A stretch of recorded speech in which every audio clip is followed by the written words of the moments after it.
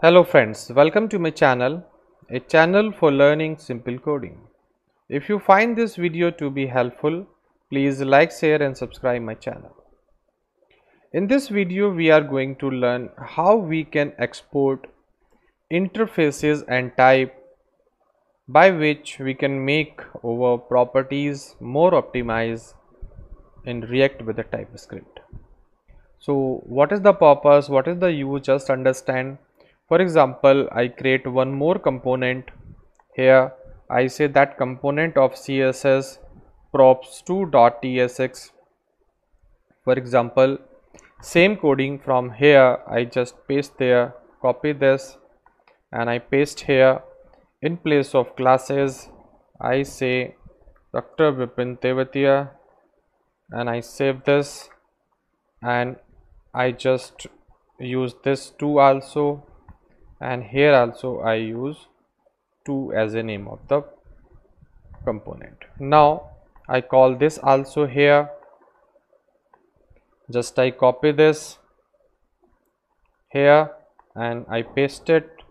I pass here and I say it is 2 and I just copy this and I import this here and I say it is 2 and it is 2 and I save this. And same property we are passing here but in place of color red I here pass green color. I save this.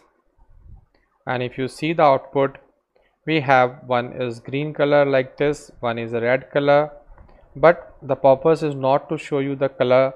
Purpose is to optimize and export the properties that is common. For example here these two components having a same kind of property and having a same type of data type of interface. And you may have a type also. That means I am declaring a two time one here and second here.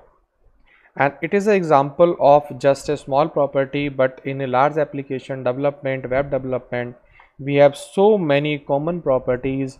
Those repeatedly we use in different different components and we increase the size of the code so here I just example I have this code that is repeatedly I am using in this here. The purpose is the simple but the understanding is more. If you understand it that we have a some part of data type interface or type are common that is repeatedly we are using in different different components. So how we can create a one simple property there we can use it and export it and here we can import it.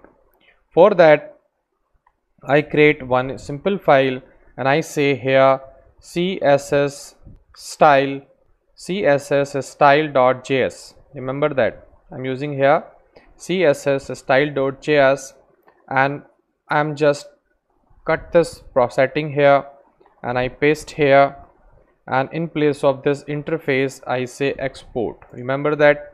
I put here export and then done it is what? Then this is also so I remove it because I doesn't require it. I save it.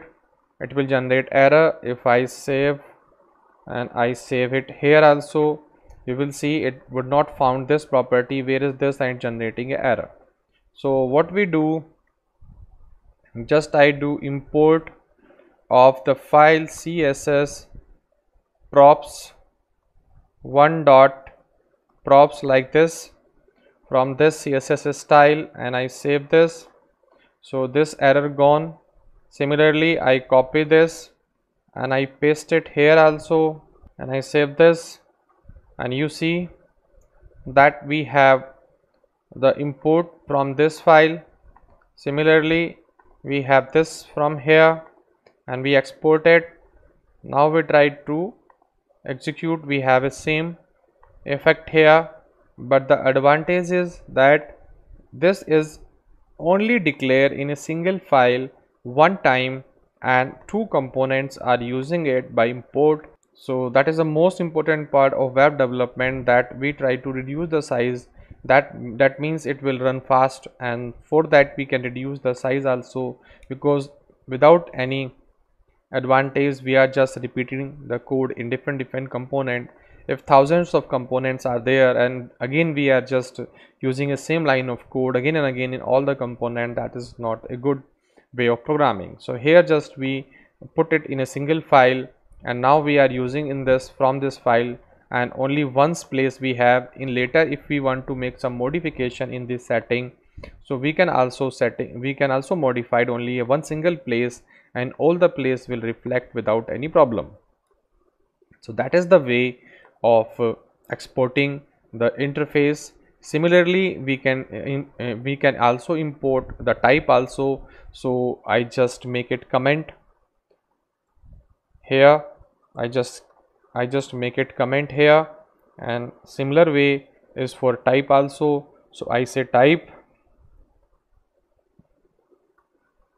And here I say equal to and I save this.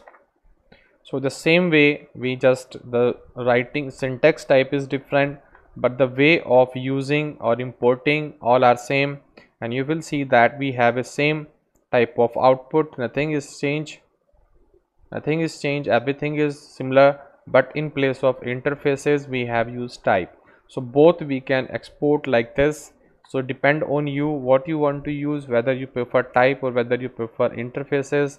But for my point of view interface is better than the type because it's just a more object oriented side. So i prefer that. Otherwise all are equivalent. Nothing special about this.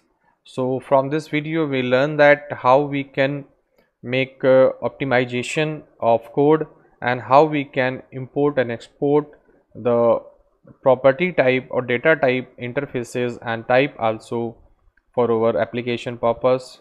That's all in this video. If you like this please do subscribe. Thank you for watching this video